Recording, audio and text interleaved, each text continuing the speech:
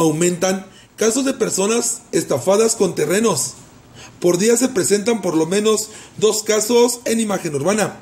Los afectados piden se les regularicen sus terrenos, pero resulta que cuando los buscan en el mapa simplemente no aparecen, pues los fraccionamientos no son regulares.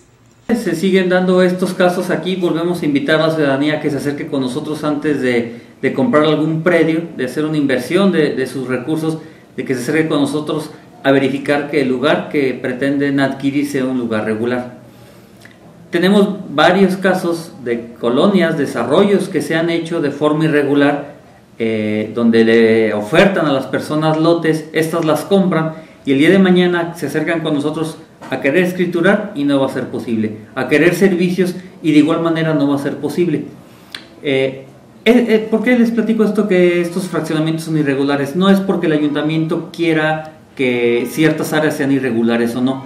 Nosotros estamos basados en un plan de desarrollo que es derivado de un estudio y que arroja en qué lugares es que se pueden dar desarrollos de fraccionamientos y hay lugares donde no se pueden dar se siguen dando casos que en estos lugares que no son compatibles siguen vendiendo lotes.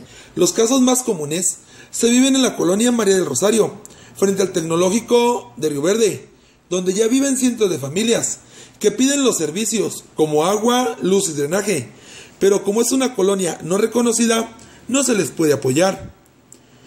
El caso similar es la colonia La Selva, Buenos Aires, y un extenso terreno que abarca desde el Tecnológico Superior de Riverde hasta el Bordo Blanco. Se supone que estos sitios no pueden ser habitados, pero ahí fraccionan de manera irregular y a los únicos que perjudican son a los compradores.